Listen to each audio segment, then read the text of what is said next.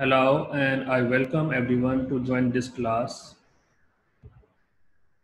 Today we are talking about drug use and discuss together whether a drug is a problem or we made drug as a problem.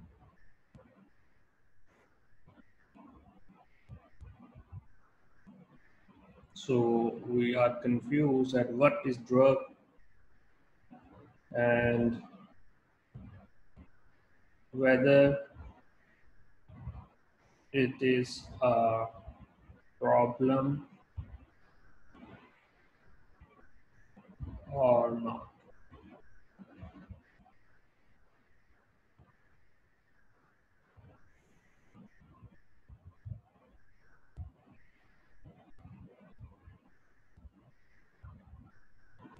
Why do some people have become a serious drug abuser while most people avoid them? Question mark. It is true that there are millions of people around the globe who manage to drink at parties, play drugs occasion, and remain somewhat unharmed from the negative health of the drug. Um, whereas there are many people that drink at parties or does drug more frequently and slowly become addicted to drug. The question is that why?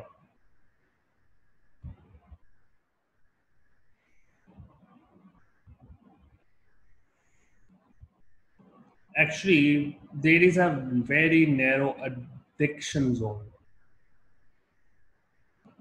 A narrow addiction zone.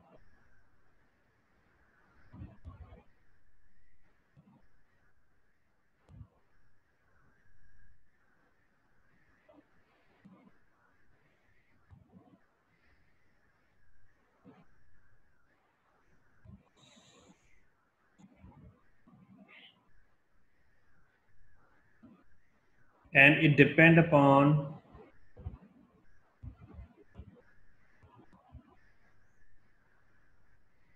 it depend upon some factors such as risk factors or gender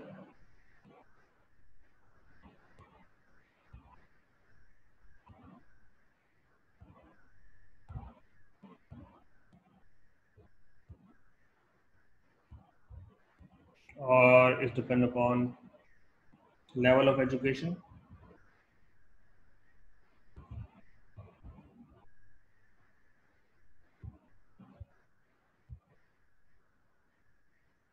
Personality variables?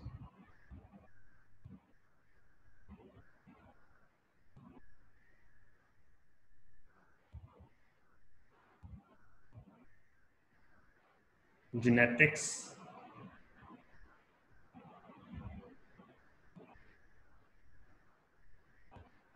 or social background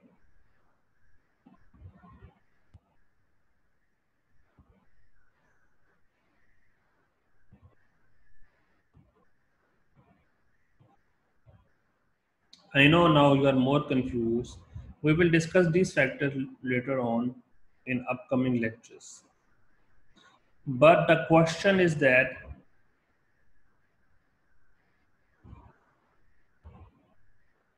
whether drug use is abuse or not. So the answer is the drug abuse often depend on some questions like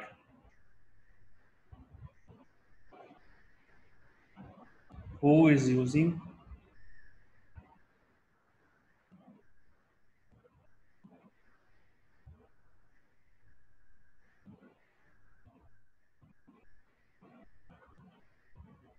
then how much being used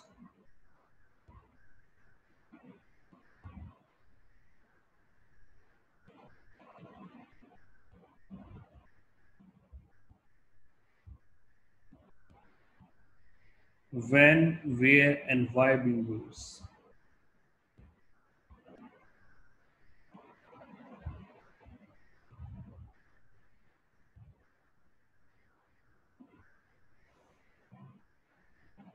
For example, the drug has been used by a doctor in a hospital to treat a patient is not considered as abuse under the supervision of pharmacist. Morphine and heroin is well-known drugs among the drug abusers in society, but these drugs have been used to treat cancer patients in severe pain under controlled dose. Whereas the recreational use of morphine or heroin is abuse. Some have argued that if these substances are illegal, then any use at all should be considered as abuse. So when we talk about the legal aspect,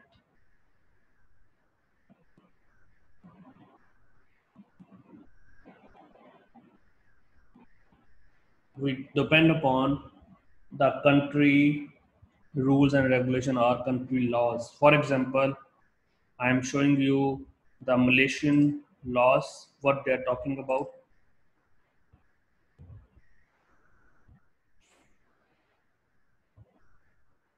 According to the Dangerous Drug Act, uh, 1952 under section 39b I'm going straight towards the, the law of Malaysia.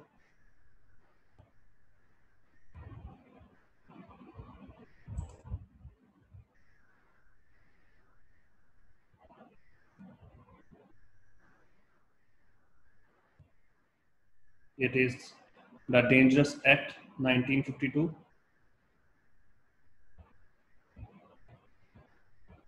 According to section 39b, if you read them, no person shall or on his own behalf or on behalf of any other person, whether or not such person in, is in Malaysia, traffic in a dangerous drug, offer to traffic in a dangerous drug. We have to focus on offer to traffic. It means if someone offer to use or to buy any dangerous drugs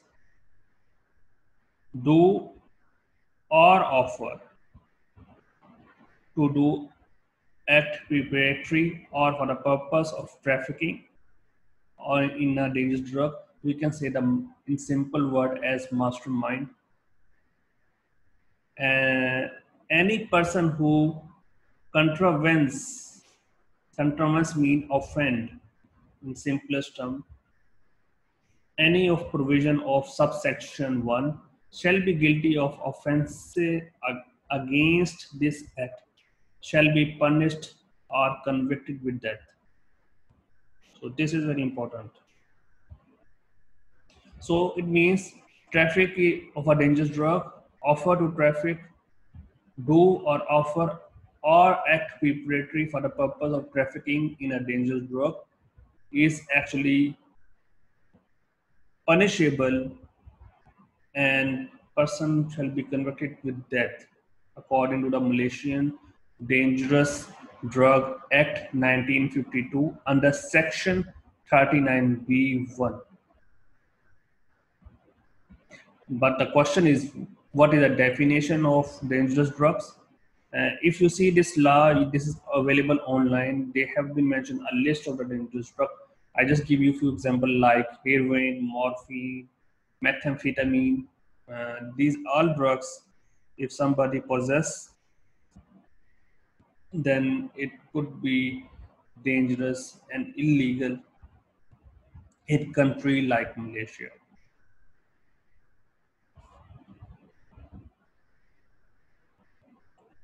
Now the next question is why we are going to study this subject and why I am discussing about the legal aspect of relationship. Well, according to the New Straits Times, I'm going to share a news. Shocking 3.2 million Malaysians live in high risk drug abuse area.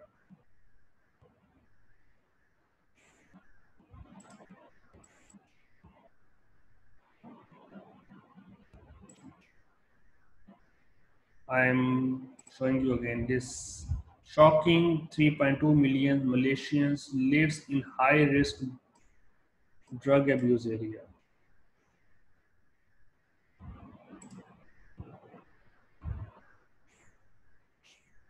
And if we read this, uh, this you can see it is not an old story. It is February 22, 2019 and they mentioned up to 3.2 million Malaysians nationwide are living in area considered high risk due to rampant drug trafficking and abuse, according to a Deputy Home Minister Datuk Muhammad Aziz said today. So if you read this article online, this is available. We can find out that this is a big issue in country like Malaysia and if you working as a social media influencer social consultant working in ngo or in future you want to become a psychologist. Then the question is there that how you influence in this society or under society that are high risk uh, as drug abuse. So the answer is very simple. Uh, like we have to teach to the community. Like every drug have multiple effects.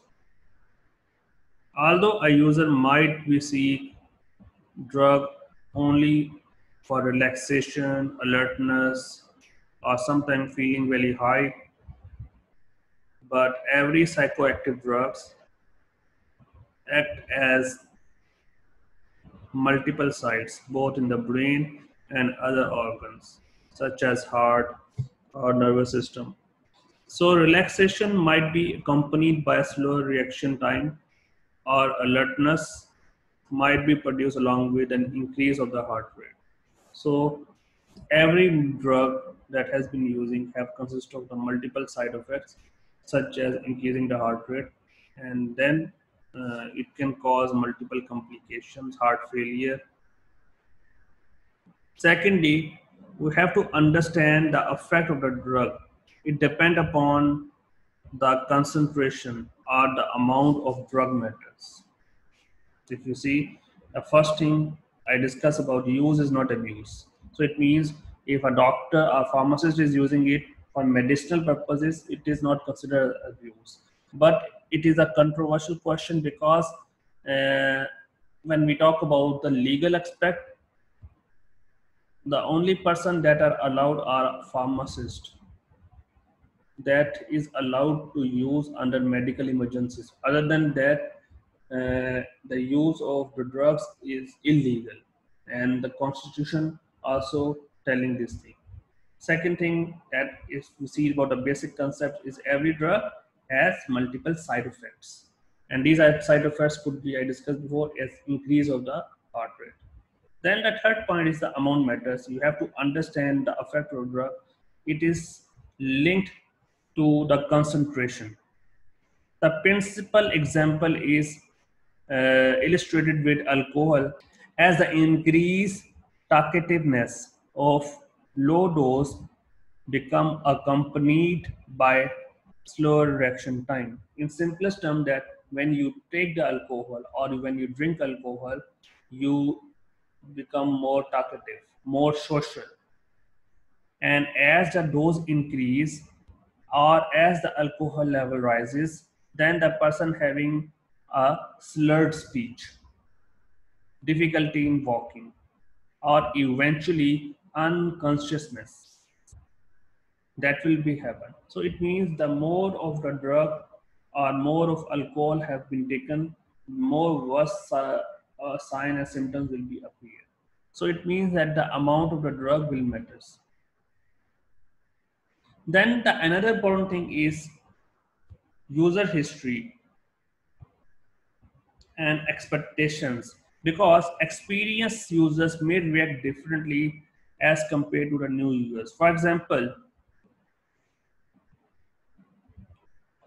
showing if we take an example of uh, alcohol, drinking alcohol, and driving the car, uh, experienced users may react differently as compared to the newly drinkers.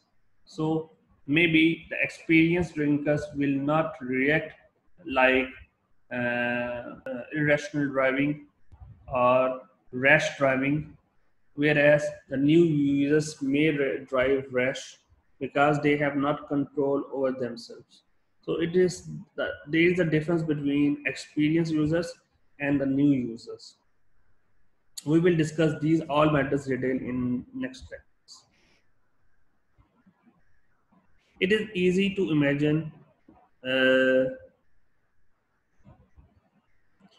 now the next now my next now my next question is to everyone watching my video whether the drug is considered as good or bad. So i leave this question on you. Give me your opinion inside the discussion forum in Moodle and uh, by making a small video. First describe yourself. I already mentioned a detail that about your name your department and why you choose this subject and what is your expectation? And then discuss in brief about whether you consider drug as good or bad uh, and what is your opinion? A small video uh, and through these videos we will communicate and till the situation will get become normal. So thank you so much for today's lecture. Hope to see you more in the upcoming lectures